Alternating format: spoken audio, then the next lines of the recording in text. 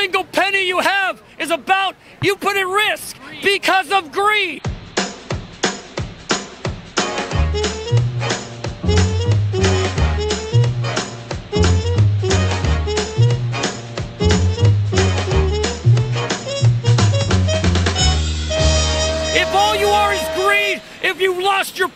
Principles, you've lost your country. Yeah, no one wants to talk to us. It's kind of a bummer. But see, we. I mean, part of it's my appearance, obviously. But uh, you know, you shouldn't judge a man by what he's wearing, right? I'm not asking for it. If you look, they're all like have really clever signs that you know make jokes and stuff, and they like to compare the signs and then see who was the most creatively expressive with theirs. So, um, I guess they were raised by generations that were fighting against actually, you know, humanitarian conflicts that were taking place in this country, and so they feel somewhat biologically obligated. I thought they were just here because Trump said grab them by the pussy. Yeah. And therefore they're walking around in vagina suits. Yeah, I kind of wanted to get one of those hats. I thought I would blend in a little better, but I, then my dad would probably get upset with me. Yeah, I want to know what when America was great that you want to go Oh, back you- to that. Well, Make America Great Again is a slogan, and so that's open for someone to interpret. When I interpret Make America Great Again, I don't interpret that as making it great again as a set time period. I interpret that as certain values that have been lost returning. Can you explain what pussy power means? It just means women power. Well, then why didn't you write women power? You're reducing the value of women to their sexual reproductive organs by saying pussy power. Why don't you just say women's power? Why don't you say women's rights? Why don't you say? Why don't you make America great? It is great. Let's keep America Well, great. Well, that's another slogan that he has. Yeah, that is the 2020 slogan. Keep America great. That you want to go back to? How is it- it was again. Well, I mean, I think it's still great when I say like make America great again. Again means it's Again not. means it's not. It's Again not. means it's not. great? It, like I said, it depends on the values that you're assuming whether or not they become great. What does your Your interpretation of the slogan may be different than my interpretation of the slogan. I reiterate, my interpretation. Who Who's has the rapist? Bill Clinton. Okay, blowjob in the Well, White House. No, settling a civil court with Paula Jones for $800,000 in 1996. That was the rape case. Oh wait, I gotta buy one of those hats. Can I get one of the pink hats? Ten dollars. Um, ten. It's a pussy hat. Thank you, sir.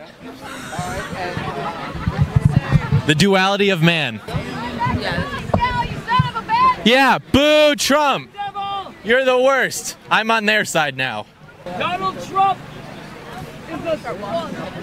Is a what? lying treasonous little.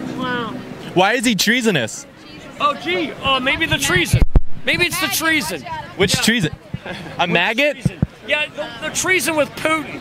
Every single Trump supporter, all the MAGA hats are now the new KKK cloak. So keep that in mind. When you see someone wearing a MAGA hat and they say go Trump, what they really mean is Heil Hitler.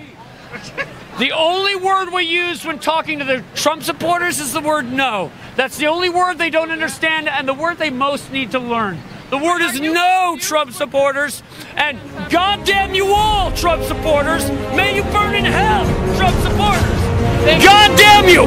Every single penny you have is about you put at risk because of greed. If all you are is greed, if you've lost your principles, you've lost your country. And goddamn you all, you'll be penniless immigrants trying to talk your way into Russia because you're that stupidly greedy. You reap what you sow. You reap what you sow. Those 666 marks, they don't wipe off. It's about accountability. When you try to obstruct justice, when you try to deconstruct our country, it's gonna be costly.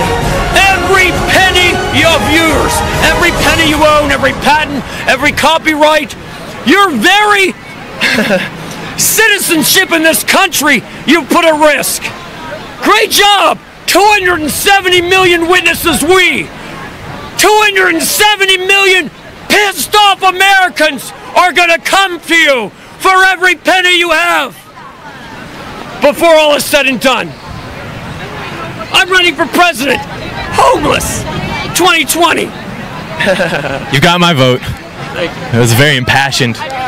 I'm Jewish. Am I still a Nazi? Yeah, if you if you're sur- if you're part of lying predators, Trump Putin, wannabe Hitler, Trump, yeah, We spoke with you earlier. Yeah, everyone's friends here. It's great. We're here with my fellow Nazis uh, from which school?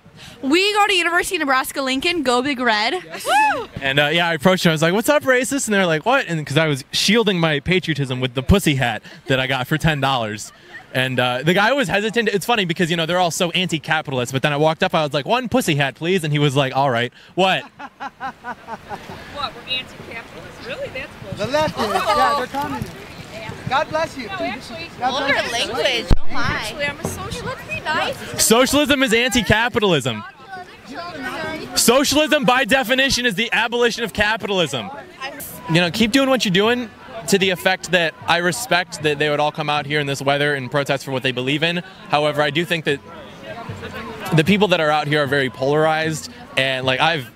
No one's really ha- too happy to see me just based off of the way I look. And that guy over there who's yelling and announcing his um, presidential run in 2020 started yelling because he saw my hat and called me a Nazi and said that I was supporting the KKK despite, you know, one of my ex-girlfriends being black. I'm somehow like a racist Nazi and everything. So it's like, okay, I mean, I guess if your definition of racism has like devolved into like someone who's wearing a red hat that like is very not anti any race is like a racist like okay i feel like we need some objectivity to that definition though at some point.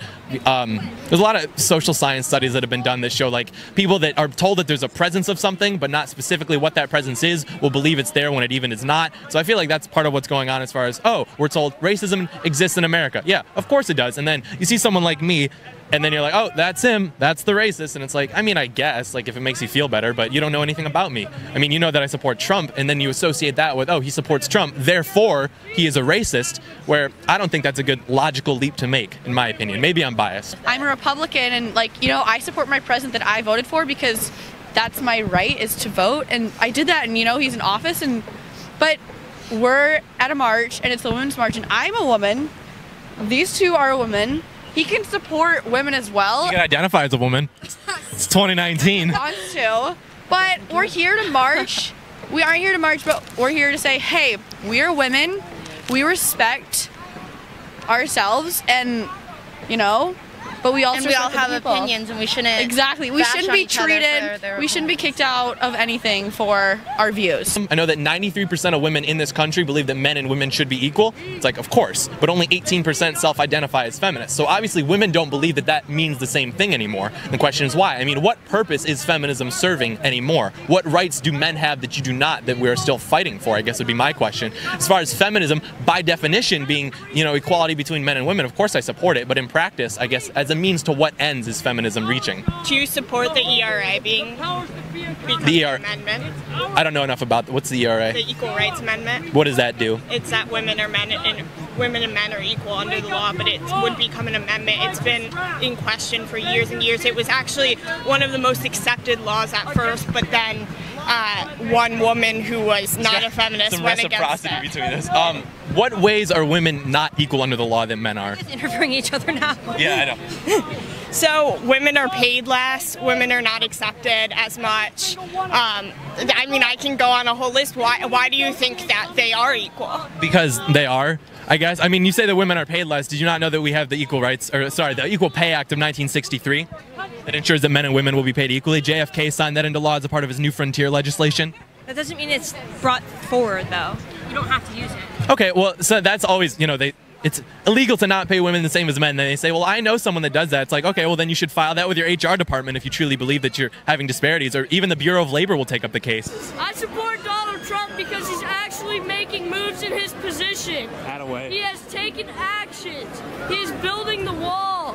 He is bettering the human population by taking people out of the United States that shouldn't be here because they're here illegally. How old are you?